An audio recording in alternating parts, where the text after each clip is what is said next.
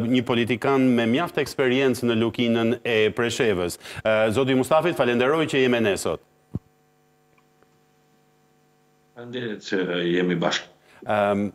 I dashur Ragmi, unë doja ta filloja pak ndryshe me ty. Gjykata Kushtetuese e Serbisë refuzoi para dy ditësh ankesën e shqiptarit Safet Demiri nga Medvegja për kthimin e adresës, pra edhe zyrtarisht ky individ si mijëra të tjerë është i pasivizuar. Nëse mund të bëje një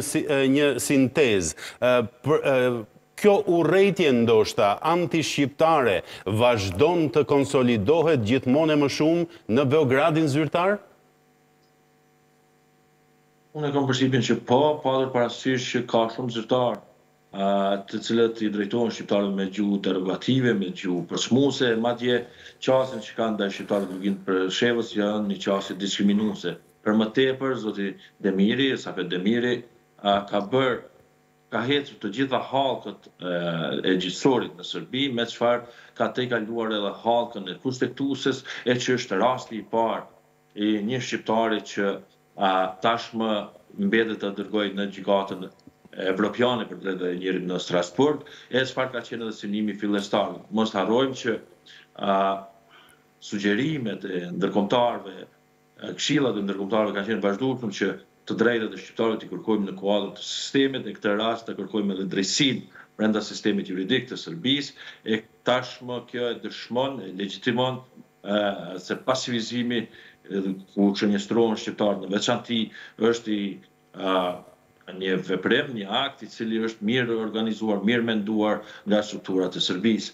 Megjithatë edhe sot në Luginë të Preshevës, përkatësisht në komunat Preshevë, Bujanoc, Medvegjë, janë mbi 6.000 shqiptarë të cilëve u është pasivizuar adresa, me çfarë e kanë të pamundur të nxjerrin një dokument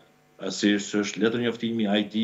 pasaporta apo patent shoferi e me çfarë do të duhej t'i realizonin të drejtat e tyre juridiko-civile apo juridiko-politike, pra në radhë të parë nuk kanë të drejtë të marrin çfarëdo shërbimesh që mund të jenë ato sociale, shëndetësore e kështu me radhë, në radhë të dytë nuk mund të ushtrojnë të drejtat e tyre sa i përket votës apo edhe të jenë pjesë e jetës publike dhe në radhë të tretë as nuk mund të trashëgojnë e as nuk mund të trashëgojnë pasardhësve të tyre tokat e tyre, pronat e tyre shekullore. Pra pa adresë nënkupton, pa shpi, pa pronë, pa të drejta, të mbetesh stateless. Të mbetesh stateless, më tërhoqi vëmendjen zoti Mustafi dhe reagimi i Ana Pisoneros, zëdhënëse e Komisionit Europian, e cila u shpreh, Ne jemi në dijeni për pasivizimin e adresave të shqiptarëve në Serbi. Po i ndjekim këto zhvillime në frymën e detyrimeve të Serbisë në kuadër të negociatave të anëtarësimit, sidomos për të drejtat e pakicave, sërish brenda suazës së përpjekjeve apo të pretendimeve që bën Republika e Serbisë se objektiv strategjik të saj ka integrimin në Bashkimin Europian, por kam përshtypjen kjo mbetet shumë pak ose asgjë për momentin. Absolutisht pajtohem me konstatimin tënd, patur parasysh që Vite e vite më radhë, më duket që tashmë janë bërë dy vite që nga Lugina Preshevës, një grup i